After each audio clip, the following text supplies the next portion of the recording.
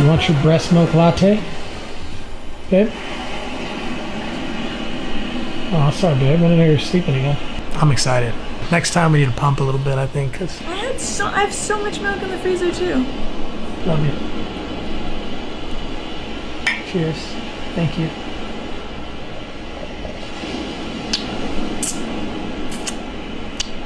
It's friggin' delicious.